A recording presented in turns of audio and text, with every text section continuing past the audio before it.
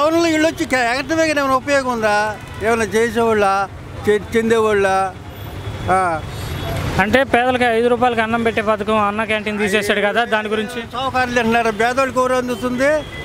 అది ఎందుకు? అది అది అది కదయ్యా. పేదవాడికి పెట్టాలి తప్పు లేదు. అది అందరు తింటున్నా. కీలో ఉండే. అది కదా.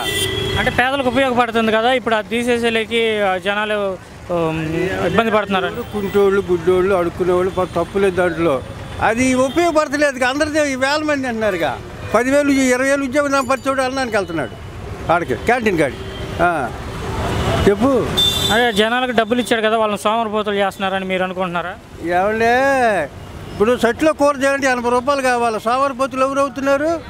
నీకే కూరగాయ ఎంత కేజీ? మరి ఆ రేటుని బట్టి డబ్బులు ఇస్తారు.